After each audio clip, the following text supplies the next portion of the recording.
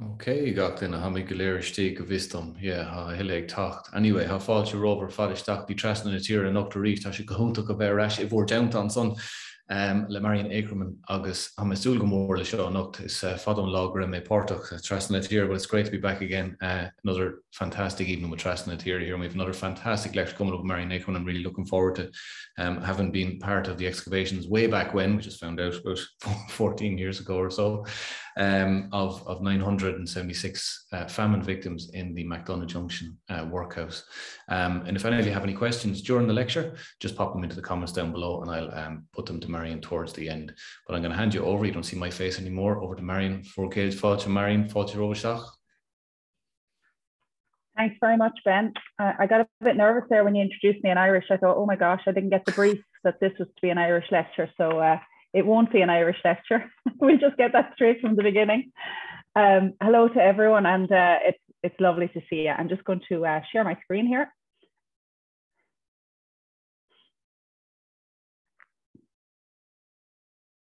Now, I hope everyone can see that there now. Um, so welcome to uh, this lecture uh, about the Kilkenny famine experience. I was uh, a little bit unsure as to the audience. So I'm, I'm going to cover a little bit of the famine history in Kilkenny, and then I'm going to talk about what happened at McDonagh Junction, and then I'm going to go into the new side of the experience and, and, and why we did what we did, I suppose. So apologies to uh, those of you that may know uh, all of the heritage and the history already, but I'll be uh, as quick as I can and we'll run through it.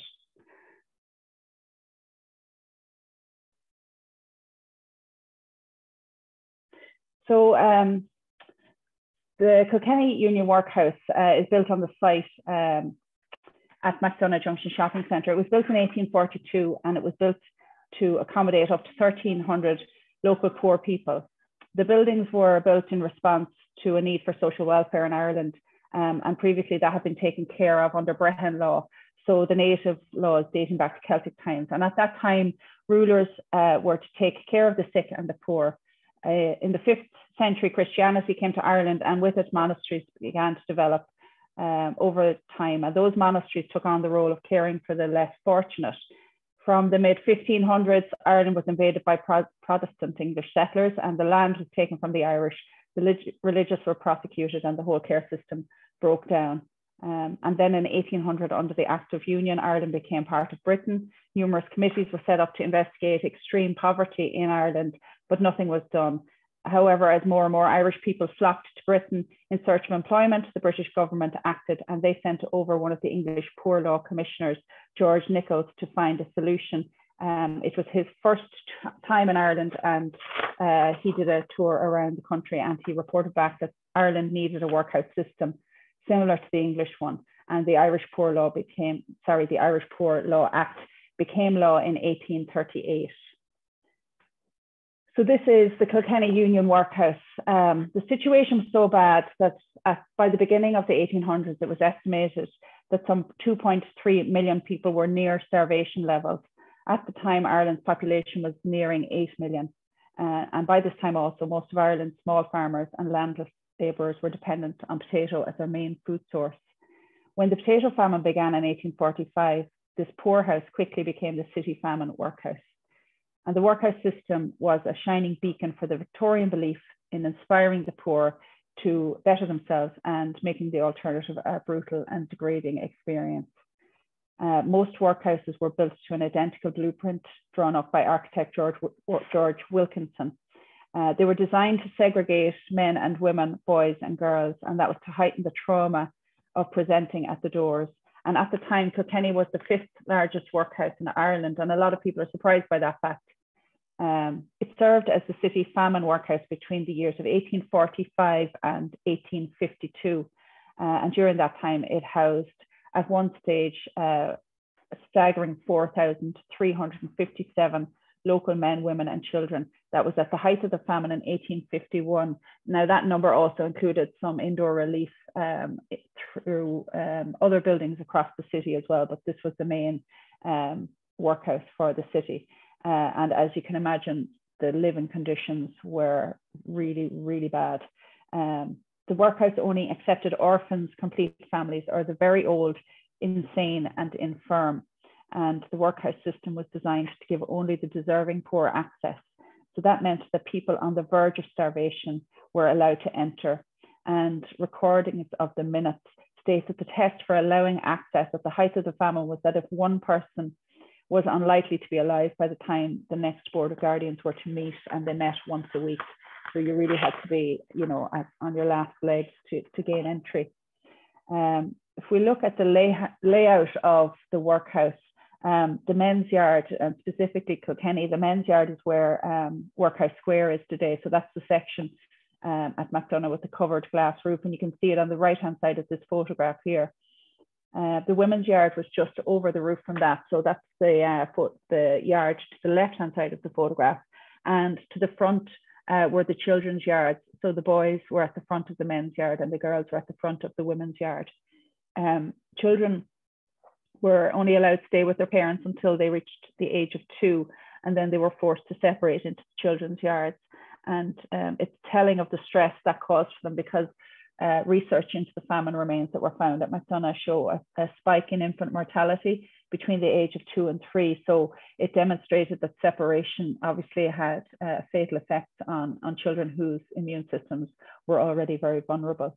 Um, some of the stories from the workhouse uh, and the, the newspapers of the time um, record two women that were expelled from the workhouse. They tried to scale the wall from the women's yard just to catch a glimpse of their children because you could only uh, spend time with your children once a week and you had to have that um, you had to have an appointment to see them so it was it all fed into the um, whole theory that you tried to um, defer people deter people from coming to the door seeking entry um, and you can see at the front of this building as well was the uh, reception building. And uh, that's where the Board of Guardians would have, would have met once a week. And uh, other stories tell that all but two of the Board of Guardians, who would have been very uh, wealthy and well thought of people in the community, uh, but all but two of them uh, never stepped across the threshold of the workhouse at the height of the famine.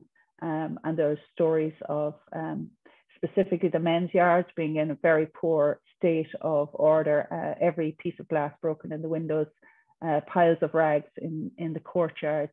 Um, I think the women were a little bit better at keeping their, their, their stuff in order uh, according to the, the records.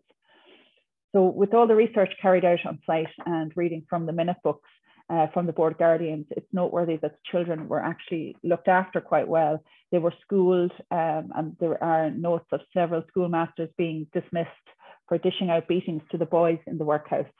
Um, so while the archaeologists examined the juvenile skeletal remains, there's virtually no evidence of bone uh, damage through trauma with the children, uh, which is, I suppose, somewhat nice to hear.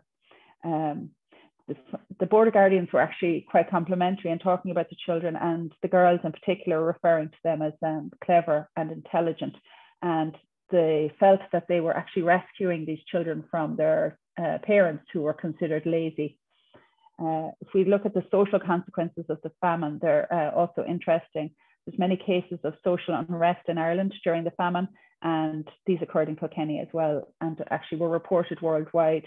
Um, in 1846, Swedish newspapers wrote about social unrest and near riot situations in Kilkenny. Uh, reports of overcrowded and critical situations in the Kilkenny workhouse was also picked up by Dutch newspapers at the time. So starvation, of course, affects people's mental health, causes apathy, and um, they can break down the emotional bonds between family members. Um, and there are accounts from the west of Ireland uh, of parents killing their children, taking food from their children, and also cases of cannibalism in Galway. So, you know, dire times. Um, that could be a scenario that explains why many children were abandoned to the workhouse during the famine. And um, I suppose a lot of parents also emigrated, uh, leaving their children behind them um, uh, in an attempt to kind of save, send some money home. Uh, and that story is echoed um, later on when we talk about um, John and Patrick Saul. So the story of the stories coming from the workhouses uh, and specifically the Kilkenny workhouse uh, were always of interest to me, but this story in particular is kind of the seed that sowed the start of the Kilkenny famine experience. And it's the story of John and Patrick Saul. So it tells a story of two children aged 12 and 15, John and Patrick Saul. They were given access to stay in the workhouse just for a couple of nights. They were on their way back from Dublin to Clonmel, and they reported that they had walked from Clonmel to Dublin with their parents with a view to leaving and emigrating to Sydney. But their parents actually abandoned them in Dublin and left them to wander the streets. And they then started to make their way back to Clonmel. Their parents actually went on to Sydney without them. Um, and as they approached Kilkenny, they would have seen the workhouse. Um, the workhouse was only open a couple of months, and they knocked on the door and they asked for shelter for a few nights, and that they would continue on then to Clonmel, that, where they had relations that would um, take care of them. And you can see here this expert excerpt from the Kilkenny Journal uh, talks about how the Board of Guardians were uh, affected by their story and that they were admitted. So that's just one of the human stories coming through from the Kilkenny uh, workhouse, um, which obviously triggered um, the tour and uh, triggered interest in, from a lot of people in, um, in those boys in particular. So we look at Kilkenny back at the time, these are actually two photographs taken around the time of um, the famine. And you can see obviously the beautiful Kilkenny Castle Gardens here on the right hand side and some of the uh, recognizable architecture in the background there with the, the steeples um, of St. Mary's um, shining through there. And then um, a typical, and that would probably have been a high quality dwelling house uh, in this other photograph. So Kilkenny at the time was actually quite affluent um, it had a thriving mill and a, it actually had a great retail trade. Um, and it was known as a retail destination even back then. And it's reported that the city actually became a magnet for the starving rural dwellers once the famine struck. Um, they descended on the city in their hundreds, and there was reports of crowds of beggars on the streets of Kilkenny. Um, interestingly, and apt at the moment because we're dealing with the Ukrainian refugees who've become displaced and working to help um, assist there. But at the time during the famine, there was reports of uh, refugee camps on Brogmaker Hill um, and two other areas in the city. So uh, a story from the newspaper at the time tells of a man who travelled to Kenny by coach. Uh, he stopped most likely at the parade and he was eating a gooseberry and he threw the skin of the gooseberry down onto the ground and a woman pounced on it and placed it into the mouth of her child. Um, to just give them some nutrition. And that story is it's actually recorded in uh, 1838. So that was actually pre, uh, before the main famine took hold in Kilkenny. So things were, were quite stark even back then. Um, I just want to talk about the discovery of the burial ground. So there was no burial designated plot uh, for the Kilkenny workhouse um, when it was initially established. And at, in the beginning, local cemeteries uh, would have taken on the, the burials from the workhouse. Uh, but what happened was the local graveyards started to fill um, and uh, uh, an instruction was sent across to the Board of Guardians to stop sending uh, paupers um, to the, the local graveyard. So you can see here uh, an advertisement um, in the local newspaper asking for land, but actually no land was available at the time. So a decision was made that between August 1847 and March 1851 um, that a burial ground was used within the grounds of the workhouse as far away as possible uh, from the buildings. You can see at the top of that um, illustration from Jonny Geber's book that the burial ground was actually uh, within the boundary, but as far away from the main dwelling. And it's likely that that was to try and prevent uh, spread of disease and there was a cinder path discovered between the workhouse um, down to the burial ground as well, where people would have walked down uh, with the coffins. So uh, after the famine, obviously there might have been an intentional um, effort to conceal the burial ground's presence. Uh, it was deliberately covered with a thick layer of sterile soil, and it was later used as the workhouse garden. It was never marked on the maps um, and it was common at the time, obviously, to be ashamed of any connection with the famine uh, and the poverty that was experienced in at the time. So it wouldn't have been spoken about openly. So by the time of its discovery in 2005, there was no local traditions that existed uh, around the burial ground, um, and the find was completely unanticipated. Um, now, there was archaeologists on site because obviously the, the sensitive nature of the site and they were expecting to find a couple of bodies, but obviously the extent of this burial site was completely unanticipated. So this was what was happening in 2007. So while um, excavation work was starting at the shopping centre, and you can see there the goods shed um, on pile driven uh, reinforcements as the diggers started to excavate down. Um, and just as they were nearing excavate the, the, the end of their excavation, they discovered 69 burial pits um, in the far corner of the site. And, and obviously everything was stopped at that stage. Um, and that obviously necessitated then a very large scale um, piece of work by the archaeologists. So evaluation work in 2005 was carried out by Colleen O'Driscoll of Kilkenny Archaeology, and that's how he was on site when the remains were discovered. And that then spurred an extensive archaeological excavation by Brenda O'Meara of Margaret Gowen and Co. Limited, and that's part of the work that Ben mentioned earlier that he was involved with, with as well. So you can see here the archaeologists working away and some of the burial pits. There were at least 970 human remains discovered in 63 mass burial pits on the site. This is the largest excavation of its kind in the history of the state. And what it does is gives us a unique chance to examine the depths of malnutrition and the illness suffered at the time of death of the victims. So the victims were buried in cheap pine coffins and uh, it was documented that a wake usually preceded the burial, which to the determination of people to give their loved ones a decent burial. Space was very tight uh, and the burial pit piled one coffin on top of another and often parents and infants were found buried together. Um, in one of the burial pits, um, an infant was nestled in the crook of a parent's forearm. And you can see here in one of our photographs as well, we have a child uh, on the left hand side, and then on the right hand side, you can see an infant and an adult buried together. And it's thought that these may not have been related, but it was to save space in one of the coffins because the child is down at the feet of the of the adult. There's actually no evidence of the use of sliding coffins uh, at our burial site, um, which is also an interesting uh, element of the, the history of the site. The remains were removed um, from McDonagh Junction and uh, they went to Dublin where extensive osteoanalysis was carried out. Um, and this discovery was described as the most significant discovery in the world relating to the Irish famine. We've had no excavation of this size, no access to human remains on this scale. There's been maybe 10 or 20 uh, famine victims found before and being available for analysis. So really, um, it's really, really significant for Kilkenny and very significant for Ireland as well um, that the experts were allowed to see exactly what was going on at the time.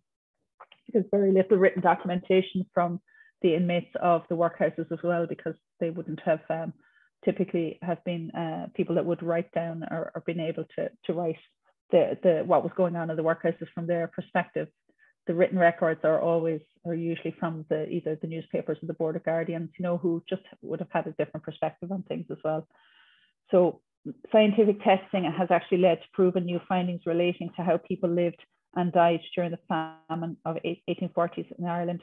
And uh, many researchers travelled to Ireland to examine our remains, and that find, the, the findings have attracted worldwide acclaim. So the workhouses were known as death houses, and once you entered, you were unlikely to leave. And the minute books recall a story of a married couple who fought about this. The husband refused to stay. He insisted that they leave to escape disease, uh, despite the wife begging him to stay in order to save the children from starvation. But obviously, he didn't relent, and that meant that the family had to leave. Um, she wouldn't have been allowed to stay without him there. Um, the remains that we found um, had advanced and severe symptoms of many diseases, and scurvy was a predominant disease and was present in 499 of the 970 remains. And just to say, all of this osteoarchaeological uh, research has come from Jonny Geber's uh, research on these remains. And you can see here uh, skeletal remain, a skull with scurvy evidence um, in the form of small holes like woodworm and generally found on the temple and around the teeth sockets and the palates. And it's found that this skeletal damage only takes hold when uh, vitamin C is reintroduced into a person's diet after a prolonged period of its absence. So it's imagined that uh, the people that were forced into the workhouse received vitamin C in the food once they got inside the walls um, in the form of milk and vegetables. And paired with large scale outbreaks of typhus, the victims often died in a lot of pain as a result of their weakened immune system. Um, and just interestingly, with scurvy, it wasn't recorded in any of the minutes um, or any of the medical reports. Um, and it's understood that the doctors that were working inland rarely came across it. So it's thought that um, it was misdiagnosed, that these people may have been getting treated for gastroenteritis problems when in fact scurvy was the problem. Um, so that's another interesting element that's come from the research as well. Um, there was an also extreme manifestation of an infectious condition named osteomyelitis, and it was so severe it would have occurred long before the famine. But it does tell you something about the living conditions of the people in Kilkenny at the time. Osteomyelitis is an infection that spreads via the blood and it builds up on the inside of the bones it can produce pus and that eventually breaks through the bone and skin. It is severely painful and it causes a lot of pain and fever. Porotic hyperostosis or symmetrical osteoporosis was found in 20% of the skeletal remains of the children. And that's a pathological condition that affects the bones of the cranial vault. It's characterized by local areas of spongy or porous bone tissue. And the spongy tissue within the bones of the cranium it swells and the tissue on the outer surface becomes thinner and more porous in appearance. And that again is caused by severe malnutrition and a lack of iron in the diet. Um, and then there was other illnesses such as syphilis, typhus, um, which actually claimed 68 people in one week alone in April 1847. And a lot of dental caries, uh, again, very prevalent, uh, which led to weakened bones and joints and severe pain for the sufferers. So the people that were in our workhouse uh, were not in good health by any means uh, and would have had a lot of pain. And there was there was a, uh, definitely a lack of pain relief. Um, they, were, they were using wine for um, pain relief, and I think the nurses were reported to be drinking more wine than than uh, giving it out to the to the people that were ill. Um, the man on the right hand side here, you can see he has a gaping hole uh, in his skull, and that's not caused by trauma or any um, degradation of his skeleton remain. That hole in his skull is actually a symptom of very advanced syphilis. And he would have actually, that would have been there while he was alive. Um, so he would have been in a, massively in pain, but also completely insane. And it's thought that that's why he gained entry into the workhouse. He would have been housed in the idiot's ward, which actually is um, now in McDonagh Junction where the barber shop is. So that part of the building was the, ma the male idiots ward is what it was called at the time, or the asylum. Um, there was a lot of, um, th there was actually reports of a lot of prostitution at the time because the, uh, the army barracks was close by and women obviously needed to um, get money to feed themselves and their families. So it's, uh, there's kind of interesting social, social aspects to stories as well uh, that we might necessarily think about. Um, so um, in regards to how uh, the use of the burial site ended, um, this here is Shank Yard and um, what happened in, at the workhouse was one of the mass graves uh, was found to be empty and it's presumed it was dug to accommodate more bodies that didn't actually come. Um, and that happened because graveyard space became available in March 1851 and then burials on site ceased imme uh, immediately. So it's telling that the Board of Guardians knew that they were doing something that they really shouldn't have been doing, burying on unconsecrated grounds. Um, so the Board of Guardians, as we know, had been seeking an alternative plot of land for some time, and they bought what is known as Shank Yard, just up the road um, from McDonagh Junction, where Marble City Fuels is today.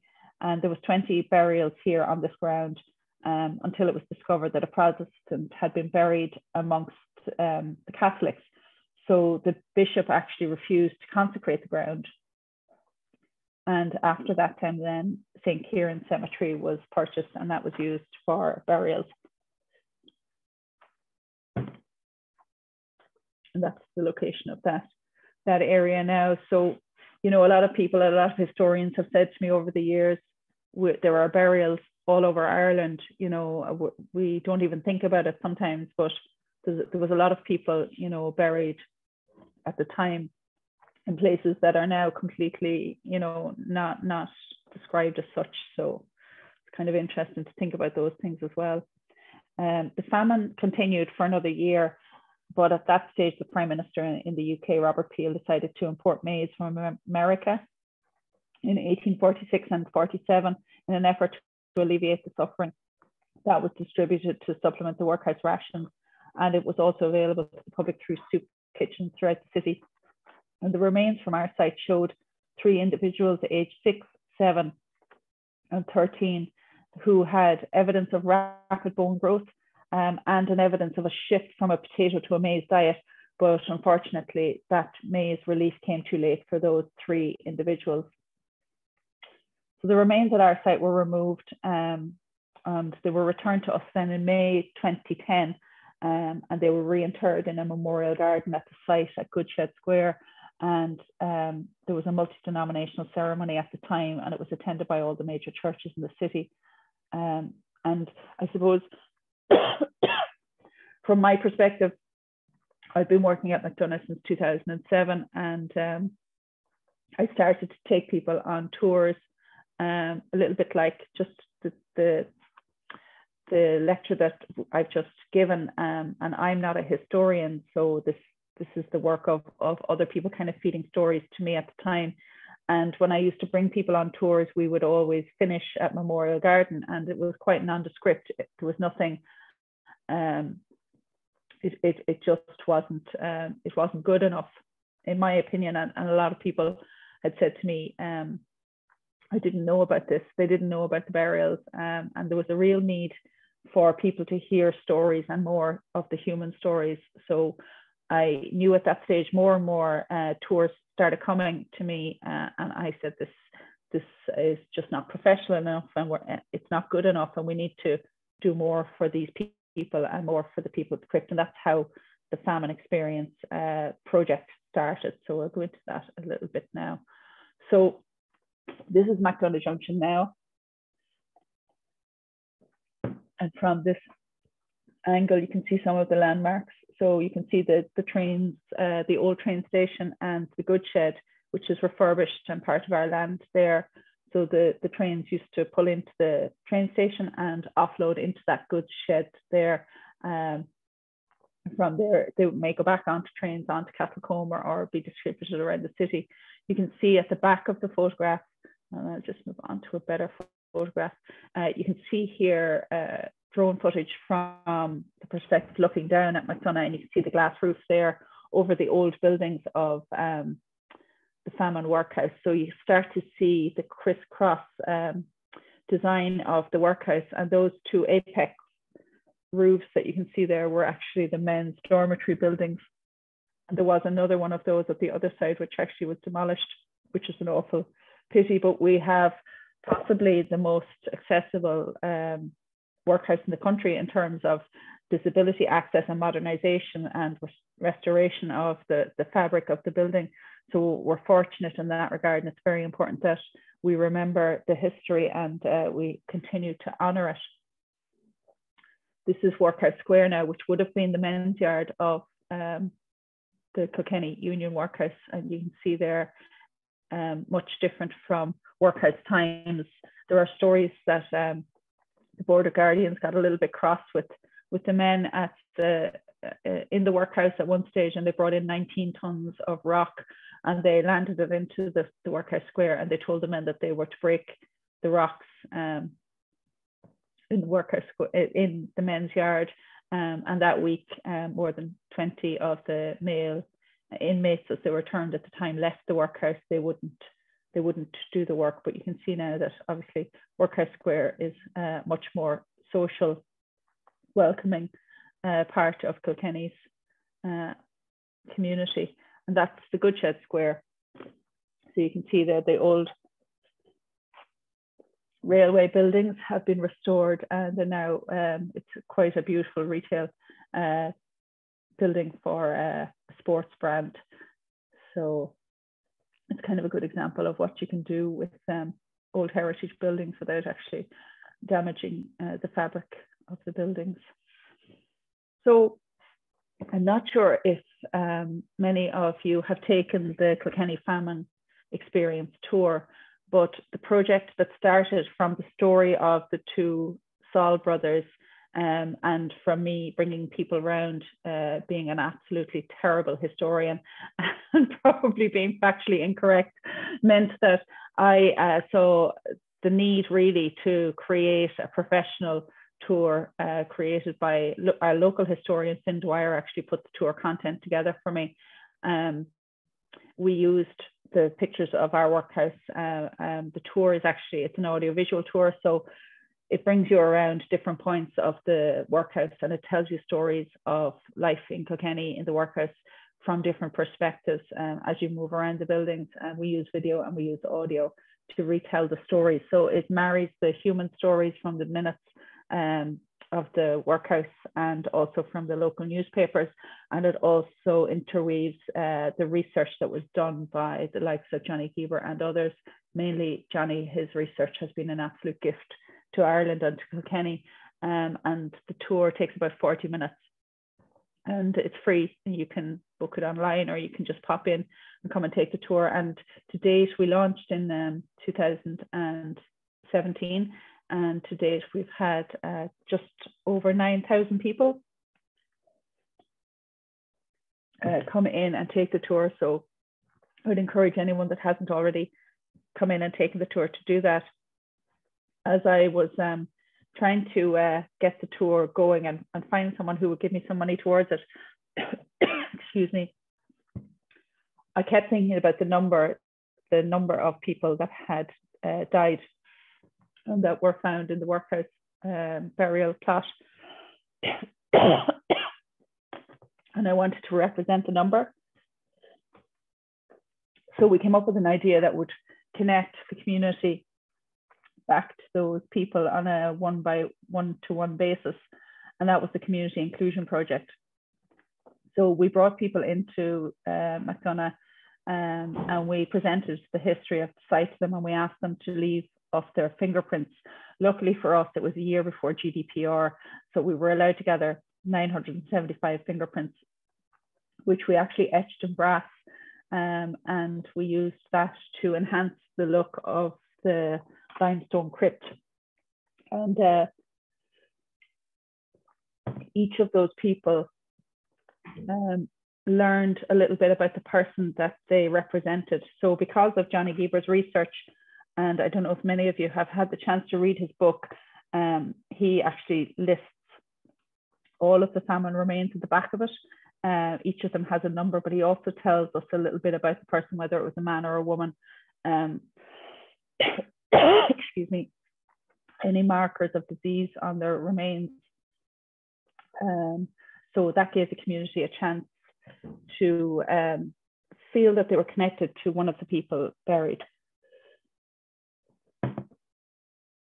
And then the last part of the project was uh, the memorial statue or the sculpture. This is sculpture here, excuse me now, because I'm just need to have a cough for some reason.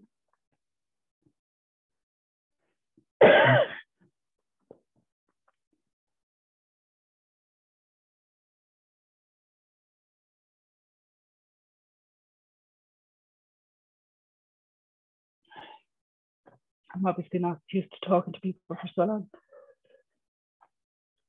So um, the family experience sculpture is um, representative of the two boys, uh, John and Patrick Saul.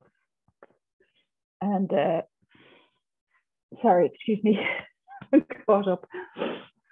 It, uh, it, we wanted to show um, a piece of artwork that would depict hope, hope that those boys um, were helping each other along on their journey. And that's what you see there in the, the bronze sculpture. So the sculpture uh, was placed at Memorial Garden. So what was a very plain limestone crypt um, is now a place of remembrance and the fingerprints of the community were etched into the brass and you can see that in the background there. So we just enhanced the whole area and just made it a, a lot more special.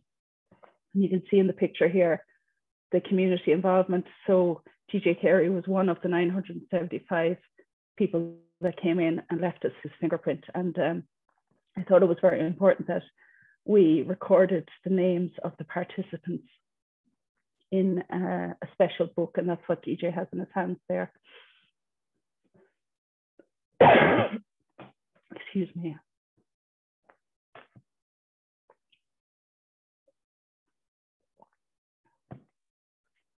This is a photograph of uh, some of the people that came and took part in the project. And you can see there uh, Richard Andrews, the ambassador to Australia, who was a big supporter of the project, and uh, the ambassador in the UK was the same as well.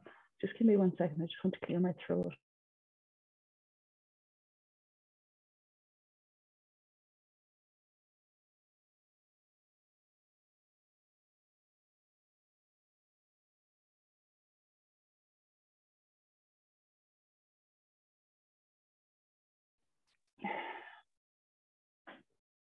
Thanks. I can normally talk for hours uninterrupted, so I must be under pressure tonight.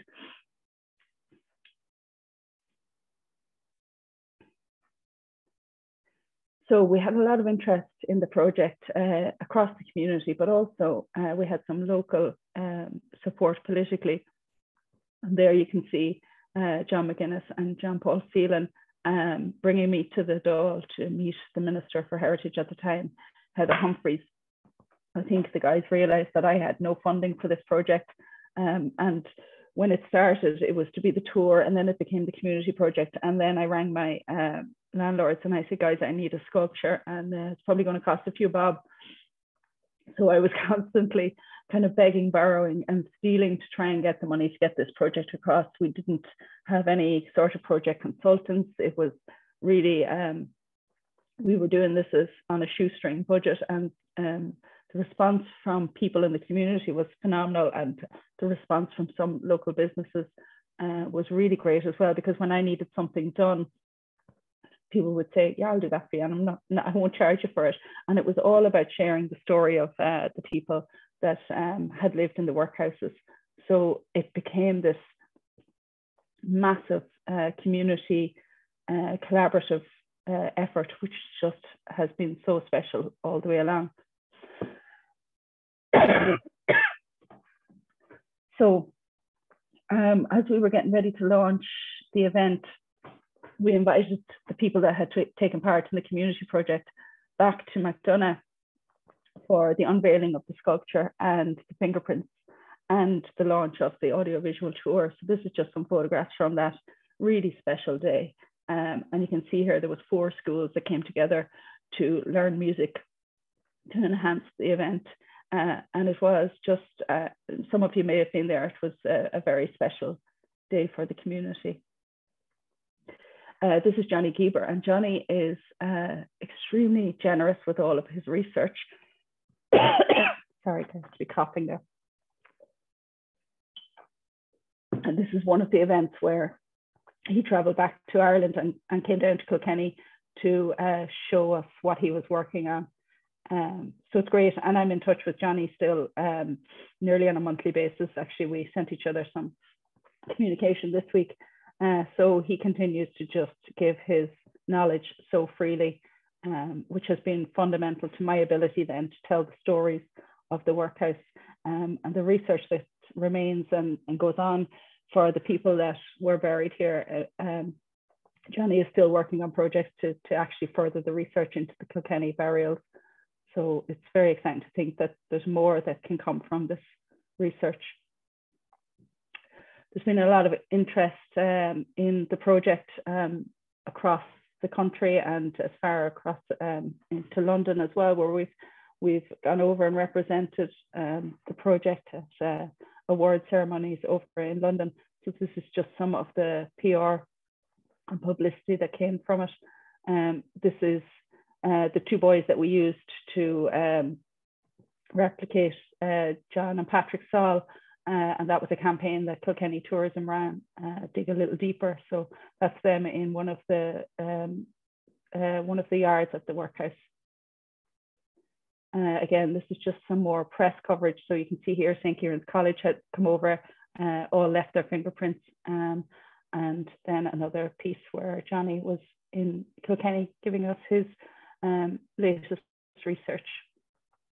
The story of the two brothers uh, is interesting and it's definitely something that has potential for further uh, work and it's, it's, it's actually something that I would love someone to take on. Uh, I don't have the skill set for it, but we'd love to find their descendants because uh, the sculpture obviously de uh, depicts their story and uh, there's no awareness of where any of their descendants are.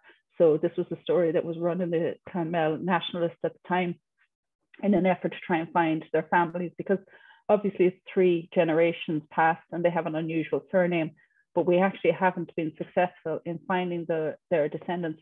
Um, it is reported that the older boy went to Australia uh, eight years after his after they presented at the workhouse and that he ended up in an asylum and his father uh, appears in the newspapers in Sydney a few times and he actually ends up in an asylum as well. So there was obviously a mental health issue uh, in the family there, but other than that, we don't actually know what happened to the boys.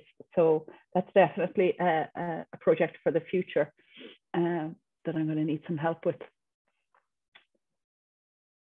So uh, as part of this project, and as I said, lots of kind of strands uh, and little tangents started to appear. So I was reading the Kilkenny People one day and um, I saw that there was going to be a book launched in Callan um, by uh, an Australian historian. And actually, the reason I went was that the Australian ambassador was going and I had made contact with him.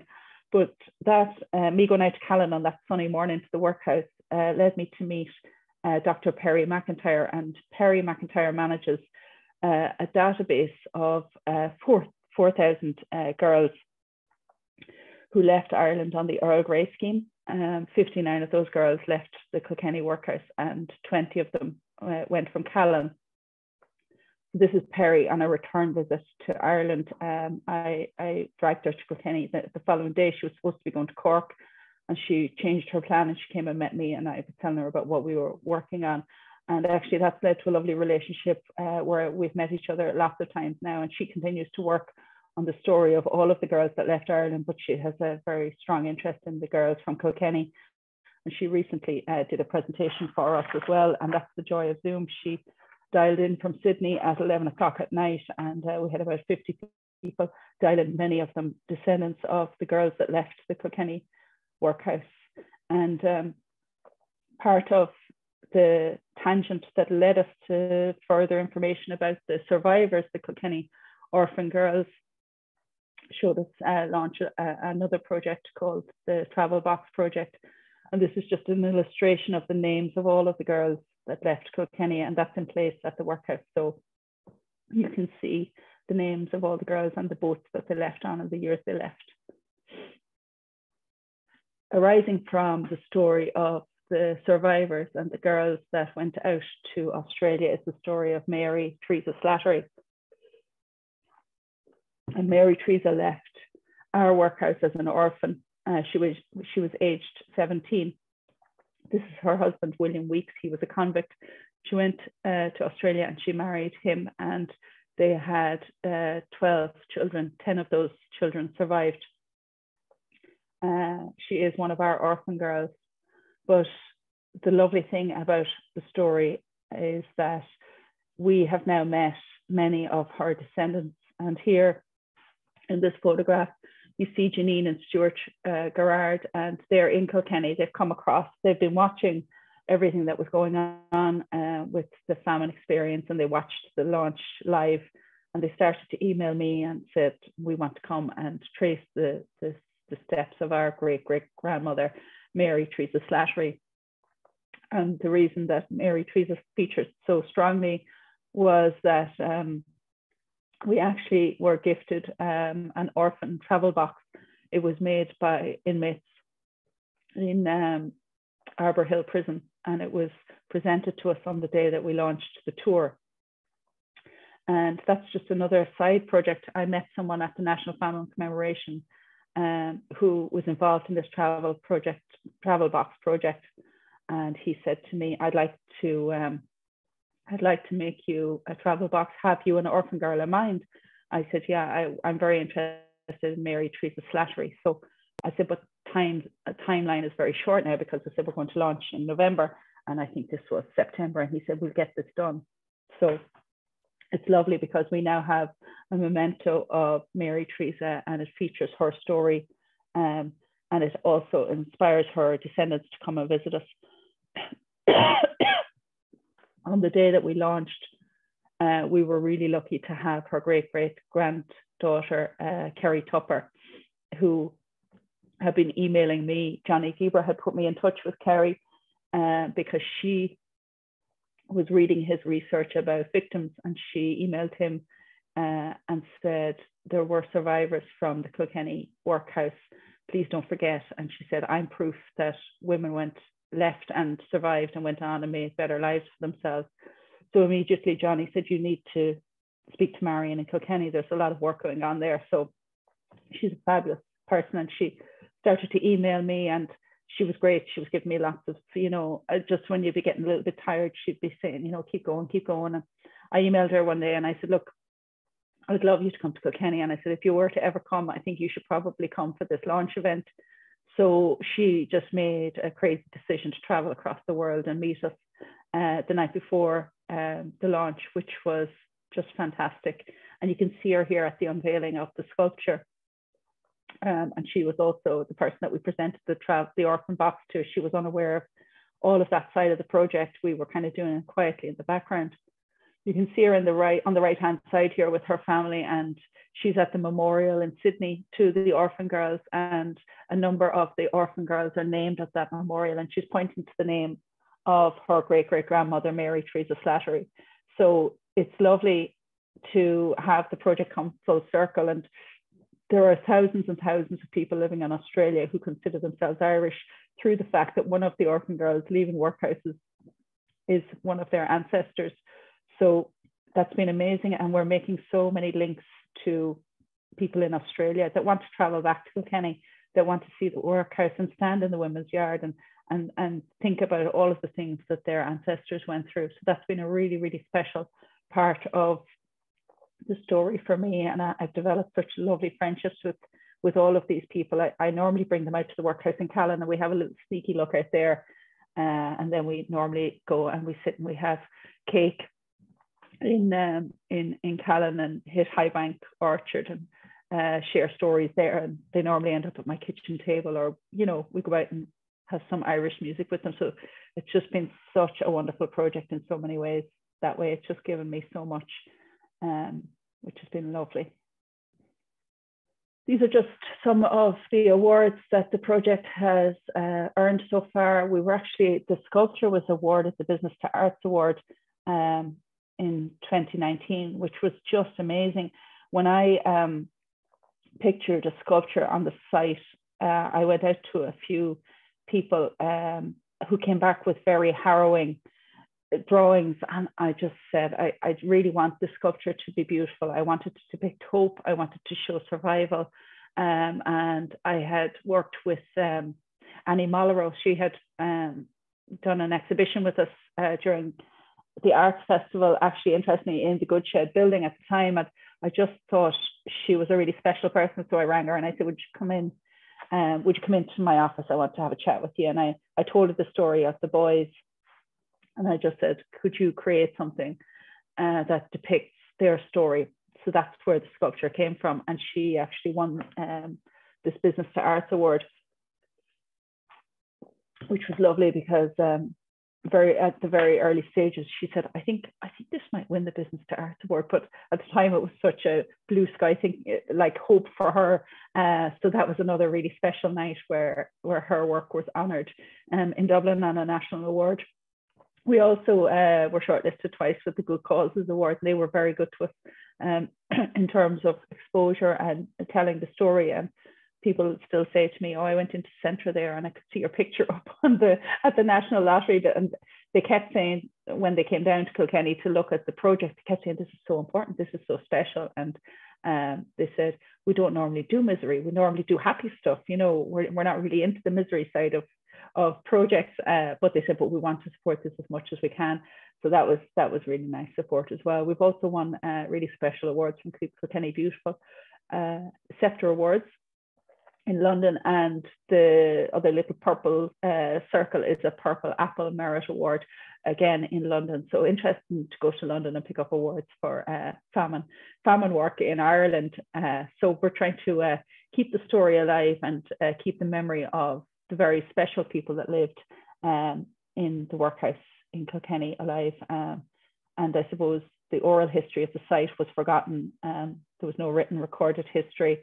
So the whole concept was to bring the people that died there back into human memory and to record it in a way that they'll never be forgotten again. And I suppose that was that was our our one big objective. And I think we've we've hit that objective. And I suppose if we were to think about what we want to do into the future, I think Kilkenny is so unique um, in terms of the opportunity to create something really, really special of a national or international standard visitor centre around the heritage of the, the Irish famine. Because when you think about the research um, and the opportunity that um, has been given to us from these people that didn't survive the famine, um, in the ability to, to analyse their remains, to tell their story, uh, that is um, unheard of anywhere else in, in Ireland and interestingly has uh, repercussions across the world. There was a lady that was doing her PhD with Jonny. Um, she had come from Texas and she went to work with Jonny because she wanted to look at our skeletal remains. And she said that the, the, the impact of starvation and famine on community could be seen in the bones of our victims and that can inform government policy across the world. Do you know the, the importance of preventing starvation, the importance of preventing these famine situations because it has generations, there's implications for generations. Um, so all of that stuff is still kind of live and coming through um, from the Kilkenny famine experience. Um, so it's a project I think that um, will just grow and grow with time, hopefully. So that's the end of my presentation. I'll uh, stop my share. Míle má go Marion. Um, you know, orintanta uh, bíar gine an sinna haing chun cuioine um, an luch a, a hashbán doing, and I think that's what you've done. Sometimes we need as people to be um, to be brought or helped to remember, and uh, it's very easy coming from an archaeologist. It's very easy sometimes for things to be left in an archaeological report, and that's where a lot of these things stay. And I think you just deserve a massive amount of credit for seeing smiling faces of the ancestors, of the people that were, you know, managed to survive and to look at the light instead of the dark. And I think, like you said, it's so easy sometimes to look at the darkness in these things. And these people never wanted to end up in this workhouse. These people never wanted to be buried in this workhouse. And to see it from where I saw it 14 odd years ago to see it to where it's become now, I think you just deserve a massive amount of credit. And to have that drive and that passion for so long to remember and to help everyone else remember, I just uh, hats off. I think it's uh, it's absolutely fantastic what you've done. Thanks so much, Ben. I really appreciate that. It's um, it's one of those things that you know you go in to manage a building and um, you're dealing with you know the commercial realities and the, and the physical realities of a building of its size, and it's um, uh, the nature of the building can be tricky at times, to say the least. But then something happens and you get, you might get an email from Australia or someone will phone you for, like, I recently had a phone call from the UK uh, from a group who are trying to commemorate uh, a famine um, graveyard over there. And they said, we, we want to come over and see what you're doing. And you kind of just shelve all your day to day work and you say, this, this is what really, this is what uh, gets, gets me going uh, in a lovely way. But it, it's just people's uh, people's care, people's compassion um, across every strand of the project. It has just been so rewarding. It's it's phenomenal, really. And it's it's funny because a lot of the people tonight, I think, are kind of sharing that similar. I think uh, I think it was Joe here somewhere at the start. He said something that kind of stood out, which I'm going to read. Uh, no, it's Paul Cully actually there, and we've Joe before him. Says, Marion, your humility as regards not being a trained historian is best set aside. Your expertise and commitment to reclaiming the stories of these unfortunate people is better than that of many trained historians. I am full of admiration for the work you have done and continue to do. Well done. You should be given an honorary degree for your efforts. There you go. Here, Thanks, here. Paul. Thank you, Paul. Paul's been a great support to me. Uh, I'm about to get a real degree, Paul, but I had to work for it. So uh, and it's nothing to do with history either. So I'll have to start again on that one. Thank you. Um, and I, there's a, a, few questions come in. They've come in personally and publicly. So I'm gonna I'll ask you the ones that come in straight to me first off. Um, uh, what do you think of the impact um, having, let's say, from the point of view of this place not necessarily being recorded, as you said, in oral history, and the fact that now that the community is aware um, that this was in their city, what do you think has the impact on the people of the of Kilkenny has been since finding all of these various things about their history? It's a very interesting question. I think when we first took on the management of the building, there was an awful lot of upset in the local community that this burial site had been found and we were this big commercial entity and maybe we weren't the right things weren't being done all of that was kind of floating around and um, at the time, Donny Butler was the manager in the shopping centre. I was operations manager, and um, we kind of were, were trying to kind of keep keep up with everything that was happening and and learn about you know the, the correct thing to do uh, when human remains are found and and the correct thing to do now is uh, a license and and uh, an organized excavation um, but I think the famine experience and specifically the community connection project um, made people aware of firstly that it had happened and secondly that it was very important to us. It was as important to us to honor them and to actually have someone connect to each of them as an individual. And i think the oral history oral history is so important. And i know now we have the technology to record so much more and it's very important that Ireland does record the oral history that you know that a, a chunk of of a population can't be forgotten again like that um, but we we had a lovely um, uh, uh, thing happen there uh, in the middle of COVID a neighbor uh, who had taken part in the project uh, sent me an email she asked me if I'd meet her and she wanted to write a, a poem about the little girl that she had connected to. Um, and we unveiled that at the Memorial Garden there a couple of months ago. And it was really special. I mean, that's it's the type of project that so many people are just so engaged and that's what it's about. The project isn't for me, it's not for our team at McDonagh; it's for the whole community.